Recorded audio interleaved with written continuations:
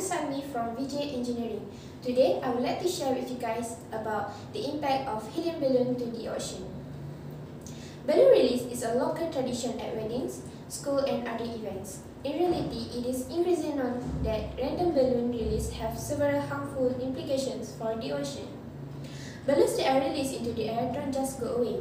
They either get snagged on something such as tree branches or electrical wires deflate and make their way back down or rise until they pop and fall back to the earth where they can create a lot of problems. Many balloons that are not properly disposed of end up in the ocean and along shores, becoming marine debris.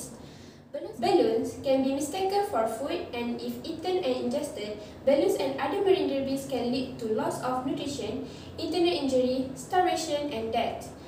String or ribbon that is often found attached to the balloons can cause entanglement. String can wrap around marine life, causing injury, illness, and suffocation. Sea turtles are at a special risk because the balloons form shiny mylar material and vibrant color of rubber and latex resemble their favorite food which is jellyfish when they are floating in the water. Balloons may clog a turtle digestive system, leaving the animal starved to death. Do we want this to continuously arise?